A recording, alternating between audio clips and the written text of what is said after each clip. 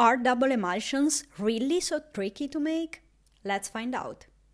We will need the inner water phase, here dyed in green, the oil phase containing surfactant to stabilize the single emulsion droplets, the outer water phase that completes the double emulsion, also containing surfactants, a pipette and pipette tips, and some wipes to keep everything as neat as possible. Finally, a vortex for emulsification.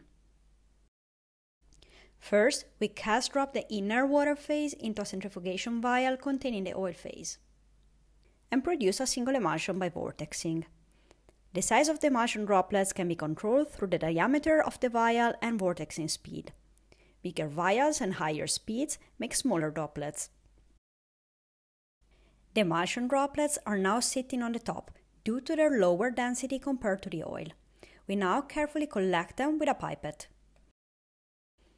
Discard all the oil collected in the pipette tip.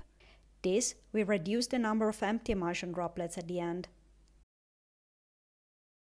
And transfer the droplets to the outer water phase, making sure that the pipette tip is inside the medium. To produce the double emulsion, we just have to vortex it again.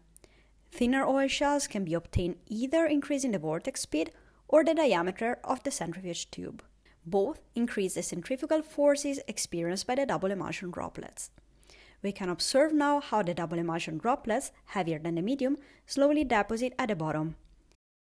And here is the final result. With our method, making double emulsions is quite simple.